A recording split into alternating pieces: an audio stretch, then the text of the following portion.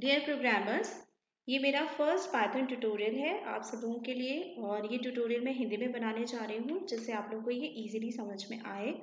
और अब आप लोग जो है अपना पहला पाइथन प्रोग्राम बनाने जा रहे हैं तो कॉन्ग्रेचुलेशंस और मैं यहाँ पर देख, आप लोग देख सकते हैं कि मैंने यहाँ पर पाईचाम एडिटर यूज़ किया है। और आप लोग इसको इजीली डाउनलोड कर सकते हैं इंस्टॉल कर सकते हैं। तो इसको हम लोग यूज़ करेंगे अपने प्रोग्राम्स बनाने के लिए। और डोंट वरी मैं आपको सारी चीज़ें यहाँ पर स्टेप बाय स्टेप बताऊँगी कैसे आपको प्रोग्राम टाइप करना है, कैसे उसको रन करना है, कैसे हम लोग आउटपुट देखेंगे एवरीथिंग ठीक है? और तो फिर हम लोग बाय टू वेट और अब हम लोग स्टार्ट करते हैं अपनी पाइथन प्रोग्रामिंग जर्नी ठीक है? तो सबसे पहले देखिए, यहाँ पर मैंने एक पाईचाम प्रोजेक्ट पहले से बना के रखा हुआ है, जिसका नाम है ट्यूटोरियल। तो आप लोग भी पहले ऐसा एक प्रोजेक्ट बना लेंगे और सिंपली यहाँ पर फ़ाइल में जाके आप न्यू करके प्रोजेक्ट क्रिएट कर लीजिए तो यहाँ पर आपका प्रोजेक्ट क्रिएट हो जाएगा, ठीक है? So there is an option यहाँ पर फ़ाइल न्यू प्रोजेक्ट ठीक है? तो इससे आपका एक नया प्रोजेक्ट रेडी हो जाएगा। एंड आफ्टर दैट हम यहाँ पर मैंने पहले से बना के रखा हुआ है तो इसको हम लोग राइट क्लिक करते हैं। यहाँ पर हम जाएँगे न्यू में और क्योंकि हम पाइथन प्रोग्राम बना रहे हैं तो हम यहाँ पर पाइथन फ़ाइल को सिलेक्ट कर लेंगे। ठीक है? तो ये सिंपली आप पाइथन फ़ाइल सिलेक्ट करिए। यहाँ पे आप अपने प्रोग्राम का जो भी नाम देना चाहते हैं, वो नाम आप यहाँ पर दे देंगे। हमने यहाँ पर टास्क बन दिया है, उसके बाद आप एंटर की प्रेस करेंगे। और ये आपको स्पेस मिल गया जहाँ पर कि आप अपना प्रोग्राम टाइप कर सकते हैं और एडिट कर सकते हैं, ठीक है? तो सबसे पहले जैसे कि हम नॉर्मली सारी लैंग्वेजेस जब स्टार्ट करते हैं बनाना तो हम सबसे पहले हेलो वर्ल्ड प्रिंट करते हैं। तो यहाँ पर हम पाइथन में भी सबसे पहले हम हेलो वर्ल्ड प्रिंट करेंगे। तो इसके लिए एक सिंपल सी कमांड होती है यहाँ पर प्रिंट ठीक है, उसको हम यहाँ पर यूज़ करेंगे और प्रिंट कमांड में हम यहाँ पर सिंपली डबल कोटेशन मार्क्स आप लगाएँगे बिकॉज़ आप मैसेज दे रहे हैं यहाँ पर स्ट्रिंग दे रहे हैं तो हमें यहाँ पर डबल कोटेशन मार्क्स इंक्लूड करना पड़ेगा। तो इसके अंदर हम लिखते हैं हेलो वर्ल्ड ठीक है लाइक दिस और बस इसके बाद यहाँ पर आपने ये नोटिस किया होगा, अगर आप पहले भी किसी लैंग्वेज में काम कर चुके हैं तो आपने ये नोटिस किया होगा कि यहाँ पर कोई भी वॉइड में या पब्लिक स्टैटिक वॉइड में जैसे कि जावा में होता है, ऐसा कुछ भी हमें यहाँ पर यूज़ करने की ज़रूरत नहीं है। सिंपली हमको यहाँ पर अपना पहला स्टेटमेंट लिखना है, जो भी हम यहाँ पर एग्जीक्यूट करना चाहते हैं। फिर यहाँ पर हम यहाँ पर रन पे जाएँगे। रन पे हम लोग यहाँ पर सिलेक्ट करेंगे रन और क्योंकि हमारा टास्क वन है तो हम ये टास्क वन सिलेक्ट करेंगे। और ये देखिए सिंपली ये प्रोग्राम रन हो गया और यहाँ पर आप बॉटम में आउटपुट देख सकते हैं हेलो वर्ल्ड ठीक है? It is as simple is that it's अब एक और चीज़ है यहाँ पर मैं आपको जो बताना चाहती हूँ वो ये है कि यहाँ पर जो भी what is string actually string क्या होती है? तो स्ट्रिंग एक सीक्वेंस ऑफ़ कैरेक्टर्स होता है जो कि हम डबल कोटेशन मार्क्स के अंदर रखते हैं या फिर उसको हम इनक्लोज करते हैं सिंगल कोटेशन मार्क्स में। तो चाहे आप डबल कोटेशन मार्क्स भी आप यूज़ कर सकते हैं और आप सिंगल कोटेशन मार्क्स भी सिंगल कोट्स भी आप यहाँ पर यूज़ कर सकते हैं। कैसे मैं आपको दिखाती हूँ यहाँ पर? प्रिंट हमने यहाँ पर इस बार हम सिंगल कोट लगाएँगे और हम कहेंगे हेलो व्यूअर ओके तो यहाँ पर अब हमने क्या करा है? सिंगल कोट लगाया है। Again I am going to run it run task one ये देखिए हेलो वर्ल्ड हेलो व्यूअर ठीक है? तो इसमें हम कुछ भी यूज़ कर सकते हैं। फिर मतलब डबल कोट भी और सिंगल कोट भी। अब इसका क्या यूज़ है एक्चुअली देखिए, इसका ये यूज़ होता है कि अगर हम सिंगल कोट और डबल कोट दोनों यूज़ कर सकते हैं तो अगर हम अपनी स्ट्रिंग में जो भी मैसेज हम प्रिंट कराना चाहते हैं या जो भी मैसेज हम स्ट्रिंग में रखना चाहते हैं, उसमें अगर पहले से कोई डबल कोटेशन मार्क है तो उसको भी हम इजीली प्रिंट कर सकते हैं, उसको भी हम स्ट्रिंग में इंक्लूड कर सकते हैं। इसी तरीके से अगर हमारी स्ट्रिंग में पहले से कोई एपोस्ट्रॉफ एपोस्ट्रॉफ्स है तो उसको भी हम इजीली इंक्लूड कर सकते हैं। ठीक है, उसमें कोई प्रॉब्लम नहीं आएगी। कैसे? फिर से मैं आपको एक एग्ज़ाम्पल के थ्रू बताती हूँ। जैसे कि अगर मुझे लिखना है, यहाँ पर वेलकम टू अब यहाँ पे देखिए मैं डबल कोटेशन मार्क यूज़ कर रही हूँ इसके अंदर। It is welcome to lecture loops and like this channel ठीक है? तो अगर हमने इसको रन किया, देखिए। Yes hello world hello viewer welcome to lecture loop channel तो इस तरीके से हम डबल कोटेशन मार्क भी इसमें यूज़ कर पा रहे हैं। ये देखिए, ठीक है? और इन द सेम वे अगर अब हम चाहते हैं कि हमारी स्ट्रिंग में कोई अपोस्ट्रॉफ हो तो इस बार हम डबल कोट यूज़ करेंगे और उसको इंक्लूड कर लेंगे। इट्स अ वंडरफुल चैनल ठीक है? अब क्या होगा देखते हैं। ये देखिए it's a wonderful channel okay so इस तरीके से हम यहाँ पर दोनों डबल कोटेशन और सिंगल कोटेशन मार्क्स यूज़ कर सकते हैं। तो ये आपका पहला प्रोग्राम बन चुका है सक्सेसफुली अब हम जाते हैं, दूसरा प्रोग्राम बनाएँगे। अगेन यहाँ पर प्रोजेक्ट पे राइट क्लिक करिए। यहाँ पर new again select Python file give a name to your program अपने प्रोग्राम को कोई नाम दीजिए आप यहाँ पर टास्क टू और इस तरीके से अब हम दूसरा प्रोग्राम टाइप करेंगे, ठीक है? इसमें मैं आपको बताऊँगी कि कैसे आप यूज़र से इनपुट लेकर उसको डिस्प्ले करेंगे। तो अब इसमें हम यूज़र से इनपुट लेने के लिए यहाँ पर हम यूज़ करते हैं इनपुट मैथड पाइथन में। तो इनपुट मेथड जो होती है इट इज़ सेम एज अगर आप सोचें कि सी में जैसे स्कैनफ होता है और जैसे सी इन होता है सी प्लस प्लस में, उसी तरीके से इनपुट मेथड होती है जो यूज़र से इनपुट ले सकती है। और उसको हम यूज़ कर सकते हैं अपने प्रोग्राम्स में, अपने एक्सप्रेशंस में, कहीं पर भी हम उस यूज़र इनपुट को जो है यूज़ कर सकते हैं। तो कैसे इसको करना है, मैं आपको बताती हूँ। तो सबसे पहले हम यहाँ पर एक वेरिएबल ले लेंगे नेम इक्वल टू और उसको हम इनिशियलाइज कर देंगे। अब इनिशियलाइज करने का मतलब क्या होता है? इनिशियलाइज करने का मतलब जब हम पहली वैल्यू फ़र्स्ट वैल्यू कभी भी हम वेरिएबल को असाइन करते हैं तो उसको हम कहते हैं इनिशियलाइजेशन ठीक है? तो यहाँ पर हमारा इनिशियलाइजेशन हो गया है। अब हम यहाँ पर लिख देंगे नेम इक्वल टू अब हम अपनी इनपुट मेथड यहाँ से यूज़ करेंगे। ठीक है? तो हमें ये ज़रूरत क्यों पड़ी यहाँ पर वेरिएबल लेने की? इसलिए ज़रूरत पड़ी, क्योंकि जैसे जो भी इनपुट यूज़र हमें देगा असाइन करेगा इनपुट यूज़र देगा, वो जो इनपुट होगा, उसको हमें कहीं ना कहीं रखना पड़ेगा।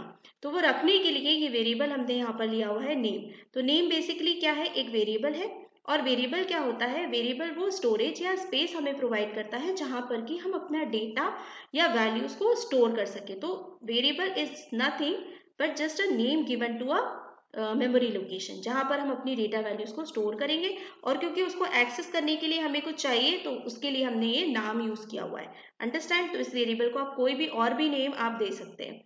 ठीक है? वेरिएबल्स और डेटा टाइप्स इसके बारे में हम लोग दूसरे अपना जो मेरा नेक्स्ट ट्यूटोरियल है, उसमें मैं आपको बिल्कुल डिटेल में बताऊँगी। और अभी के लिए हम लोग इसको सिंपली इतना समझ लेते हैं और आगे बढ़ते हैं। तो यहाँ पर अब हम इसको प्रिंट भी करना चाहते हैं। तो हम इसको इस तरीके से प्रिंट कर देंगे। अब देखते हैं यहाँ पर क्या हो रहा है। पहले हमने नेम को इनिशियलाइज करा है, फिर हमने इनपुट के थ्रू नेम लेंगे और उसी नेम को जो यूज़र इनपुट करेगा, वही हम प्रिंट कर देंगे। ठीक है? तो यहाँ पर आते हैं हम run this time we have to run task two ना। तो अब हम यहाँ पर सिलेक्ट करेंगे रन टास्क टू ठीक है तो टास्क टू में ये यूज़र इनपुट है तो यहाँ पर हमें पहले इनपुट प्रोवाइड करना पड़ेगा तो हम इसको कोई नाम दे देते हैं।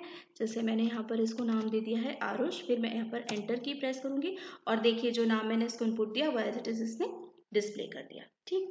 अब चा, अब मान लेते हैं कि मान लीजिए आप इसको थोड़ा सा और इंटरेस्टिंग या यूज़र फ्रेंडली बनाना चाहते हैं तो आप इसमें इस तरीके से कोई मैसेज भी इंक्लूड कर सकते हैं। I know your name is ठीक है यहाँ पर आपको कॉमा लगाना पड़ेगा और उसके बाद आप यहाँ पर वेरिएबल का नाम दे देंगे। ठीक है?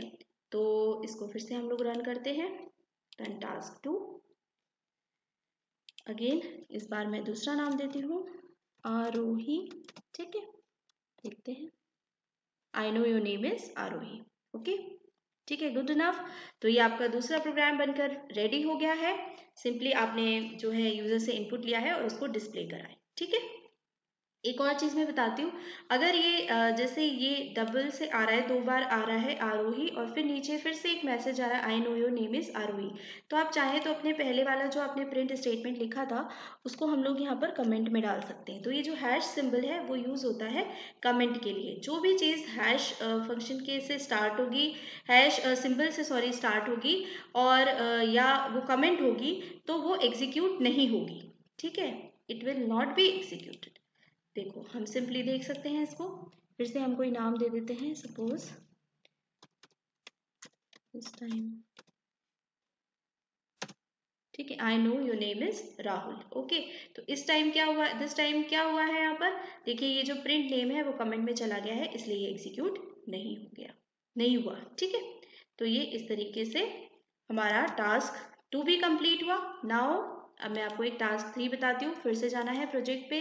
यहाँ पर न्यू यहाँ पर हम एक और पाइथन फ़ाइल क्रिएट करेंगे और एक और प्रोग्राम हम आज बनाएँगे। ठीक है? यहाँ पर हम आपको प्रिंट के साथ आप और क्या एक्सपेरिमेंट्स कर सकते हैं थोड़े से, वो हम आपको भी बताते हैं। एक चीज़ जो है मैं आपको इसमें बताती हूँ सबसे पहले। जैसे कि हमने सपोज़ लिखा प्रिंट हाय ठीक है? फिर हमने एक और प्रिंट स्टेटमेंट लिखा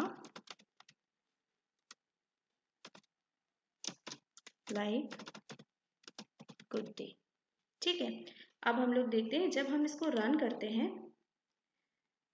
रन टास्क थ्री देखिए हाई एंड गुड डे देखिए, यहाँ पर हमने कोई न्यू लाइन के लिए यहाँ पर हमने कुछ भी नहीं लिखा है।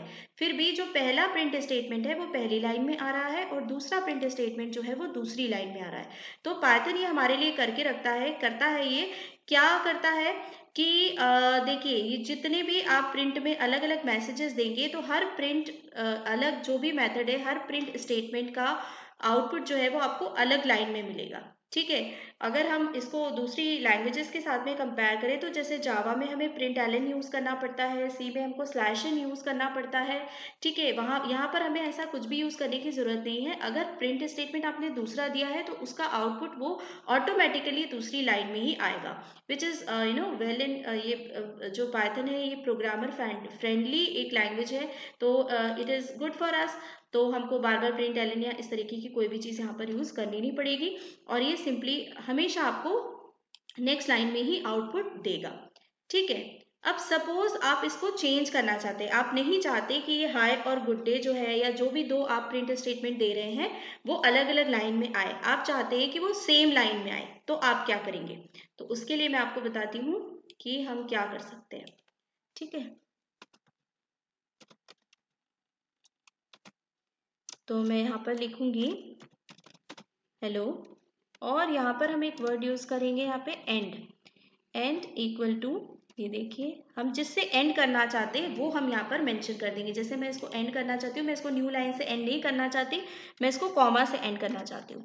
तो मैंने यहाँ पर लिख दिया print end equal to comma अब नेक्स्ट लाइन में suppose I want to write how are you and then simply again and this time मैं इसको एंड करना चाहती हूँ एक क्वेश्चन मार्क से तो मैंने यहाँ पर लिख दिया क्वेश्चन मार्क ठीक है, यहाँ पर आप ये भी देख सकते हैं, अगर आप पहले जावा सी में या सी में वर्क करते थे तो देखिए यहाँ पर हमें सेमी कॉलन लगाने की भी कोई ज़रूरत नहीं है. ठीक है तो फिर यहाँ पर हमने इसको रन करा और रन टास्क थ्री ये देखिए हेलो हाउ आर यू अब इस बार प्रिंट स्टेटमेंट अलग अलग है, लेकिन ये दोनों आउटपुट आपको सेम लाइन में मिल रहे हैं और हेलो एंड हो रहा है कॉमा से और हाउ आर यू एंड हो रहा है क्वेश्चन मार्क से। ठीक है तो इस तरीके से हम लोग कर सकते हैं।